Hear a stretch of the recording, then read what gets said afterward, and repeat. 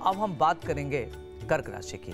तो जो कर्क राशि के जातक हैं, बहुत दिनों से आपको रोज़गार के लिए क्या परेशान है तो आप रोज़गार के लिए प्रयास करिए, अच्छे अवसर प्राप्त होंगे। रोज़गार मिलने के समय शुभ चल रहा है। शत्रु पर विजय प्राप्त हो सकती है, अपनी ऊर्जा को सही दिशा में प्रयोग करें और अपने को, मन को संतुलित रखें, विचार संतुलित रखें। चंचलता आपके लिए घातक हो सकती है। आप किसी भी कार्य के प्रति आपका मन नहीं लगता छोटी छोटी बातों को लेकर बहकाव में आ जाते हैं, जिससे लक्ष्य से भटक जाते हैं। महिला मित्र से दूर रहें तो अच्छा रहेगा। आज लक्ष्य के प्राप्ति के लिए उत्तम समय है। व्यापार से धन लाभ होते हुए दिख रहा है। तनाव लेने से और देने से बचें। उपाय क्या करना है? आज सावधानी क्या बरतनी है?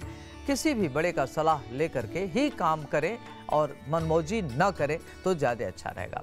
उपाय क्या करना है? असहाय को दूध पिलावें, उनको खाना खिलावे, भोजन दे, उनके लिए, उनकी मदद करना आपके लिए हितकर रहेगा। शुभ अंक चार, शुभ रंग सफ़ेद, लक मीटर आठ, हरे कृष्ण।